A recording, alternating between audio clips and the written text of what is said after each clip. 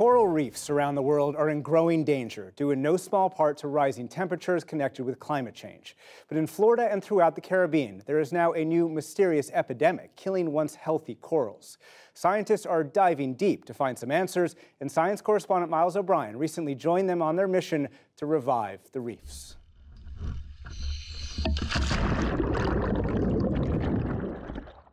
I've been scuba diving in Florida and the Bahamas for 35 years, which makes me an eyewitness to a slow motion disaster. Marine biologist Karen Neely is also saddened by what she sees. I know what it's like to go somewhere where you've had old friends and they're not there anymore. That's what we're seeing on the reefs here. Over the last 20 years has just been the continued loss of coral. It's a global problem brought on by pollution, overfishing, and the climate crisis.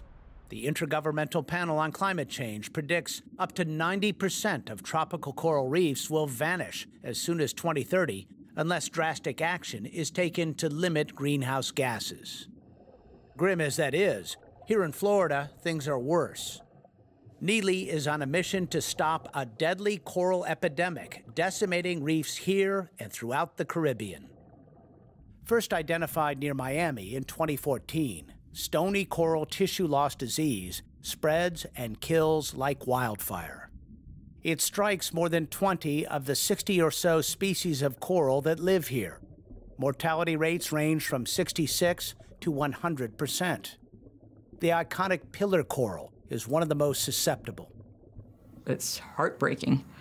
It's just unbelievable. Marine biologist Valerie Paul is head scientist at the Smithsonian Marine Station at Fort Pierce. She is helping lead the urgent hunt for answers. When we started, we didn't know anything. We just knew it was killing coral tissue, right? We know more than we did a few years ago, but we surely don't know enough. Corals are complex, fragile, and poorly understood animals. They survive thanks to a mutually beneficial or symbiotic relationship with algae that live in coral tissue. In this marriage, the coral is the homemaker and the algae brings home the bacon, actually, nutrients derived from photosynthesis. Many of the vivid colors of coral are actually created by the algae.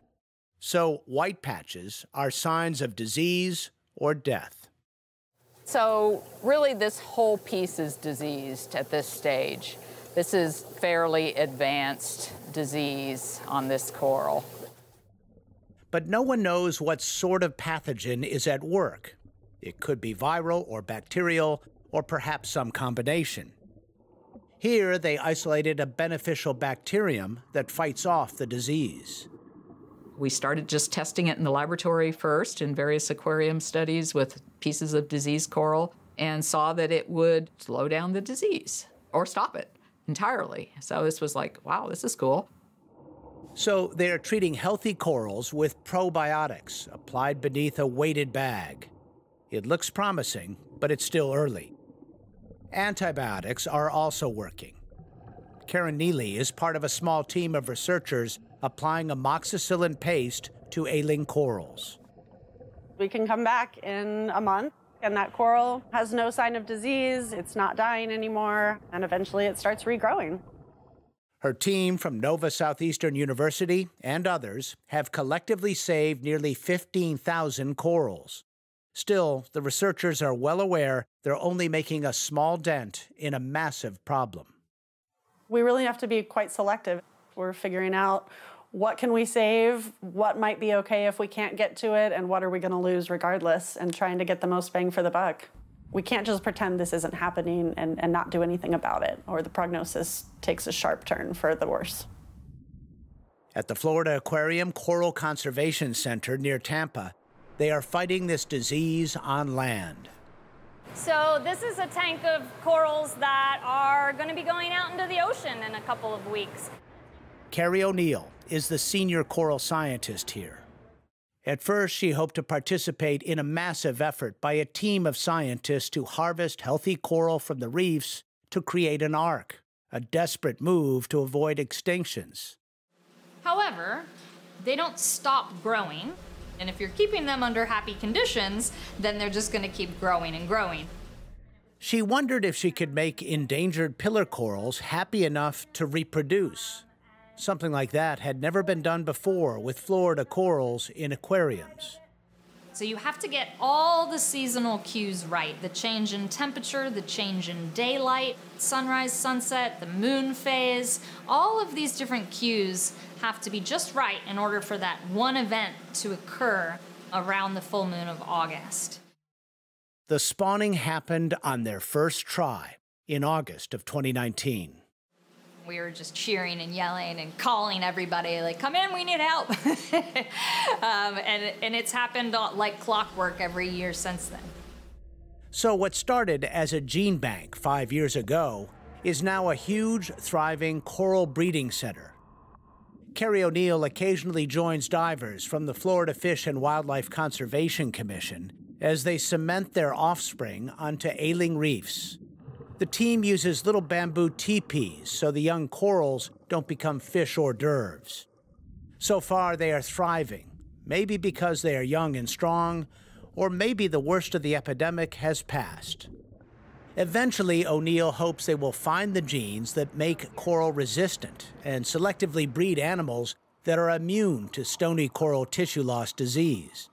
But remember, the disease is just one of many threats.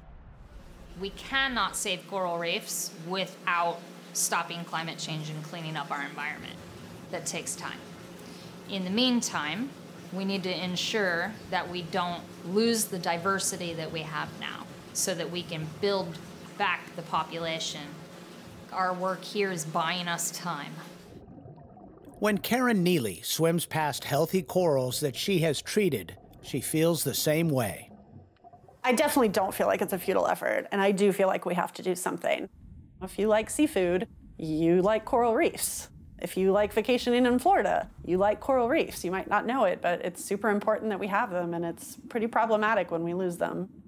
I think in my lifetime, we will either start to see the swing back towards more healthy reefs, or we'll see reefs continue to decline into something almost unrecognizable. Imagine that a world without thriving coral reefs. Not a pretty thought. It's heartbreaking to watch it happening right before my eyes. For the PBS NewsHour, I'm Miles O'Brien, 30 feet beneath the surface at Looe Key, Florida.